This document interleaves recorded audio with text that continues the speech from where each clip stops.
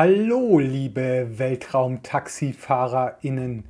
In diesem Video geht so richtig ans Eingemachte, denn ich möchte euch zum ersten Mal mit der Kommandozeile vertraut machen. Wenn ihr meine bisherigen Videos gesehen habt, habt ihr wahrscheinlich schon gelernt, dass man hier im Dateimanager Thuna versteckte Dateien durch die Eingabe von Ctrl-H oder Steuerung-H ein- oder wieder ausblenden lassen kann. Jetzt schauen wir uns das Ganze mal auf dem Terminal an. Dazu öffne ich hier das Terminal-Programm und gebe als erstes mal den Befehl pwd ein. pwd steht für Print Working Directory und gibt mein aktuelles Arbeitsverzeichnis aus. Hier sehe ich, dass ich mich in dem Verzeichnis HomeTux befinde, also meinem Home-Verzeichnis. In diesem Dateimanager im Hintergrund ist ebenfalls das Verzeichnis HomeTux geöffnet. Das ist das Standardverzeichnis eines jeden Benutzers und wenn man das Terminal öffnet oder den Dateimanager, landet man als erstes mal dort. Nun gebe ich den Befehl ls ein, um den, Datei, äh, den Verzeichnisinhalt anzeigen zu lassen. Es wird mir nichts ausgegeben, ich nehme also an, das Verzeichnis ist leer. Aber was ist mit den ganzen versteckten Dateien, die wir vorhin im Dateimanager gesehen haben? Ich gebe nun mal den Befehl ls-al ein.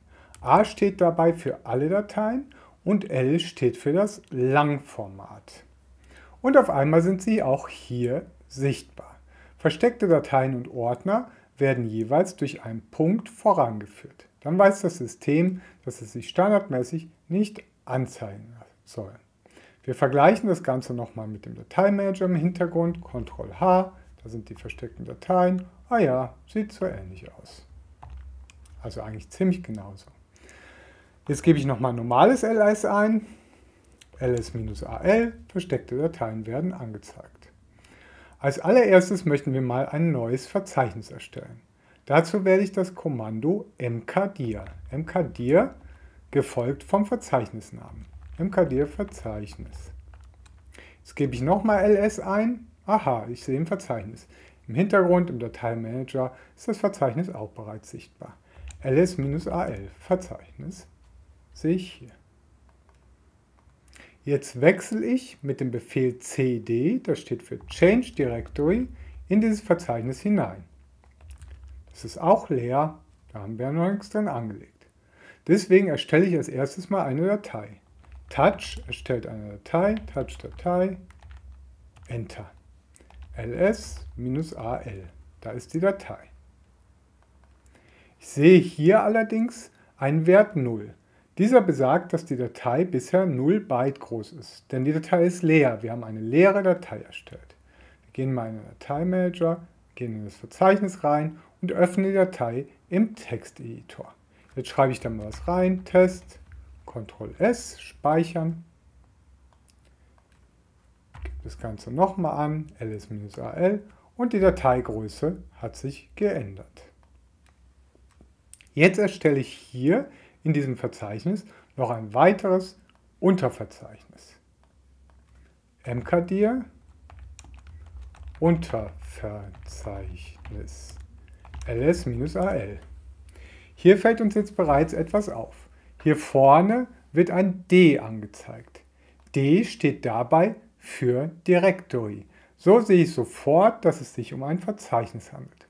Außerdem wird in der Bash im jeweiligen Terminal ein Verzeichnis andersfarbig dargestellt. In diesem Fall in blau, die Datei ist grau. Dann sehe ich hier in diesem Bereich den Dateieigentümer, das bin ich. Und in der zweiten Spalte hier die Gruppe. Der Eigentümer und die Gruppe heißen hier beide Tux. Das hat damit zu tun, dass bei der Installation für meinen User Tux automatisch eine gleichnamige Gruppe Tux, in der nur ich selber drin bin, erstellt worden ist. Hier vorne in diesem Bereich sehen wir die Berechtigung. Das heißt, wer auf die Datei oder das Verzeichnis zugreifen können darf. Diese unterteilen sich in Blöcke und zwar in drei Blöcke. rwx, r minus x wird hier angestellt und r minus x, diese drei Blöcke. Diese sind oktal. Das sind Oktalzahlen. Jeder Buchstabe hat in dem äh, Oktalsystem einen Wert zugeordnet. Das erkläre ich euch gleich noch genau, wie das funktioniert. Der erste Block gibt die Berechtigung für den Eigentümer an. Wir haben gesehen, der Eigentümer bin ich. Tux heißt er hier. Und der äh, Benutzer Tux darf diese, dieses Verzeichnis lesen, beschreiben und ausführen. Ausführen muss man Verzeichnisse können, damit man da reinwechseln kann. Wenn man keine Execute-Berechtigung, also x heißt Execute, ausführen, in das Verzeichnis hat, darf man in das Verzeichnis nicht reinwechseln. Als zweites, der zweite Block gibt die Berechtigung der Gruppe an, in diesem Fall ebenfalls Tux. Die Gruppe darf das Verzeichnis lesen, nicht beschreiben, aber ausführen, das heißt die Gruppe darf ebenfalls in das Verzeichnis hereinwechseln. Der dritte Block gibt alle anderen Benutzer des Systems an, also alle, die nicht definiert worden sind. Alle anderen dürfen in diesem Fall auch das Verzeichnis lesen und dort reinwechseln. Ganz ähnlich verhält es sich mit den Berechtigungen der Datei. Hier sehen wir den ersten Block für den Eigentümer Tux, RW, Read and Write, lesen und schreiben. Ausführen braucht der Eigentümer die Datei nicht, denn es ist kein Skript. Skripte müssten ausführbar sein. Normale Dateien, da reicht es, wenn man die lesen und schreiben kann. Die Gruppe darf die Datei nur lesen, sie darf also keine Änderungen daran vornehmen und alle anderen dürfen die Datei auch nur lesen. Jetzt habe ich ja ganz am Anfang gesagt, dass diese Werte hier dem Oktalsystem zugeordnet sind. Das ist wichtig, weil man durch die Zahlen, die jeweiligen Zahlen, diesen Werten zugeordnet sind, ganz einfach die Berechtigung setzen kann. Dazu habe ich hier eine Textdatei vorbereitet, um euch das Ganze mal vorzubereiten. Hier gibt es einen Zahlenblock. Das Oktalsystem ergibt immer insgesamt 7 in Werten 4, 2 und 1. Das heißt, der erste Wert des Blocks R, wir erinnern uns, R, W, X, lesen, schreiben, ausführen, dem wird der Wert 4 zugeordnet. Der zweite Buchstabe hier in dem Block, dem wird der Wert 2 zugeordnet. Und der dritte, x, dem wird der Wert 1 zugeordnet. Zähle ich das zusammen, 4, 2, 1 gibt 7. R, W, X gibt 7. Möchte ich also die Berechtigung R, W, X, lesen, schreiben, ausführen, definieren, muss ich eine 7 angeben. Dann hatten wir ja eben noch RW und dann nix, zum Beispiel bei der Datei bei dem Eigentümer Tux hier. RW nix. Der Benutzer Tux darf die Datei lesen, schreiben, muss sie aber nicht ausführen. Das heißt, R ist immer 4 zu, äh, zugewiesen im Oktalsystem, W ist immer die 2 zugewiesen im Oktalsystem und im dritten Block wäre die 1 zugewiesen. Der dritte Block ist aber nicht gesetzt, also muss ich nur diese beiden Zahlen zusammenzählen. Das wäre 4 und 2 gibt 6. Hier habe ich es nochmal anders veranschaulicht. Eigentümer, Gruppe und alle anderen. Hier habe ich mal den, die Ausgabe von, dem, von dieser Datei hier rein kopiert, um euch das Ganze nochmal genauer zu veranschaulichen. Also hier handelt es sich um eine Datei. Hier ist der Marker für das Verzeichnis nicht gesetzt. Dann haben wir den ersten Block. Ich habe die Blöcke hier ein bisschen auseinandergezogen, damit wir es besser sehen können. Der erste Block war RW-, also 4 2.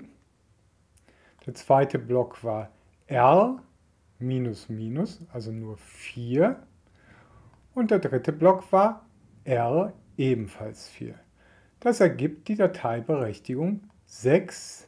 4 plus 2 ist 6. 4, diese 0, das ist 0. Und ebenfalls 4.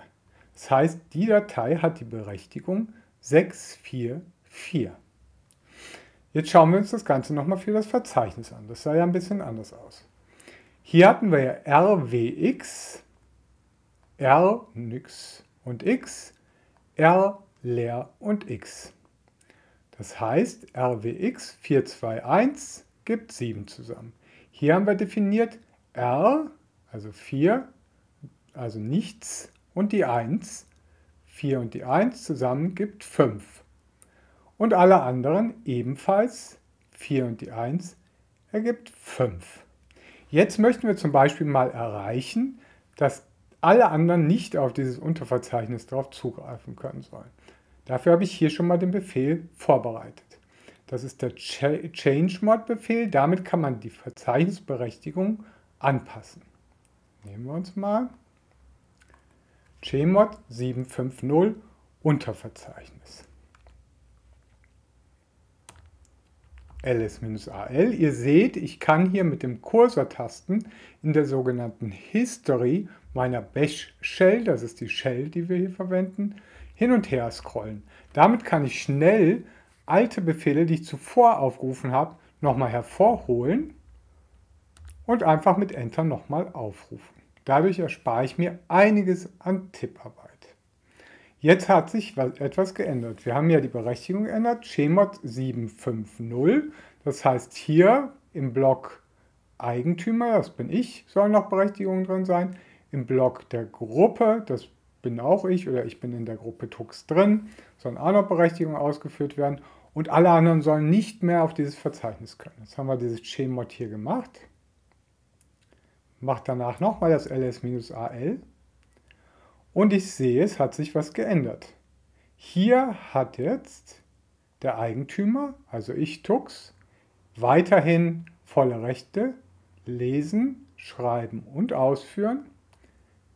Die Gruppe Tux, in der ich Mitglied bin, hat weiterhin die Rechte lesen und ausführen, kann also die Gruppe, äh, das Verzeichnis sehen und dort hineinwechseln. Alle anderen haben aber keine Rechte mehr. Also wir haben das System schon ein klein wenig sicherer gemacht. Zum Abschluss möchte ich euch noch einen kleinen Tipp zeigen. Und zwar kann man hier, wenn ich jetzt ls AL eingebe und dann nur das große U, UN und dann gebe ich die Tab-Taste ein und sobald das Wort eindeutig ist, kann ich hier einfach Tab drücken und es wird vollautomatisch vervollständigt. Auch so spare ich mir viel an Tipparbeit und bin sehr schnell auf dem Linux-Dateisystem unterwegs. Ich hoffe, ich konnte euch den ersten Einblick in die Kommandozeile geben. Wenn ihr mich fragt, war das auch einer der kompliziertesten Teile, die Berechtigungen unter Linux zu verstehen. Wenn ihr das einmal verstanden habt, dann seid ihr auf jeden Fall schon mal gut dabei. Und äh, wenn ihr jetzt auf Anhieb noch nicht wisst, wie es genau funktioniert, schaut euch das Video einfach nochmal an, macht es nach auf eurem Tuxsys-System, probiert es aus und falls ihr nicht weiterkommt, gebt mir Feedback in den Kommentaren. Bis bald, tschüss!